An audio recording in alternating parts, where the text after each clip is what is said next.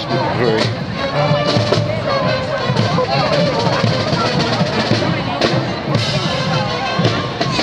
The cop cars, are- cop cars are right there on the other side of that sign, and then they That's why I figured I'd risk it, Bubba. I figured, you know, the cop cars are all going to be at the parade.